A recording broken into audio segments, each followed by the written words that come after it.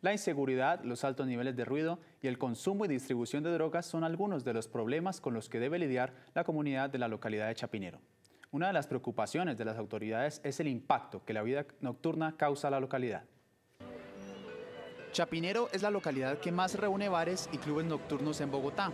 Sitios como la G, la T, la Zona Rosa y la de Rumba Universitaria, alrededor de la calle 40 entre carreras séptima y 13, se han convertido en focos de delincuencia y lugares atractivos para cometer actos de ilegalidad. El motocrossista colombiano Tatán Mejía lamentablemente no pudo participar de este show en el Festival de Verano por una lesión que tiene en su brazo derecho, aunque aseguró que en 15 días estará de nuevo en las pistas. Álvaro González en Directo TV.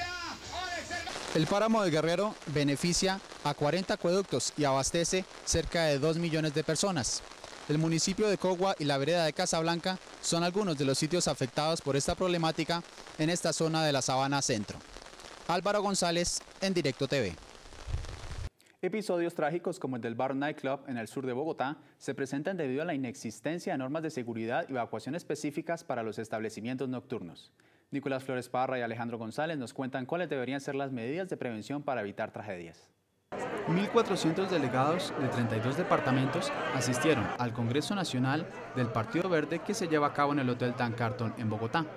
La mitad de estas personas son concejales, ediles y diputados. Álvaro González para En Directo TV.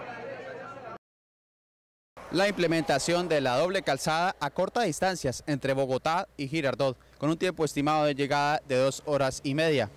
De igual manera, este municipio se ha convertido en el segundo hogar de la mayoría de los bogotanos por el aumento en la construcción de casas de veraneo.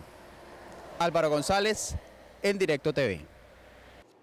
A continuación nos dirigimos a la redacción del periódico en directo, donde nuestros compañeros nos cuentan en qué están trabajando. Adelante, Valentina.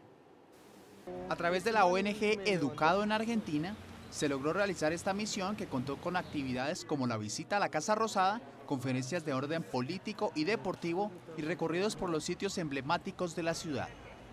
Los 25 estudiantes que participaron de esta misión académica asistieron a cerca de tres actividades enmarcadas en visitas a empresas y universidades y sitios emblemáticos de la ciudad. Desde Buenos Aires, Argentina, con la cámara de Nicolás Flores Parra, Álvaro González, en Directo TV.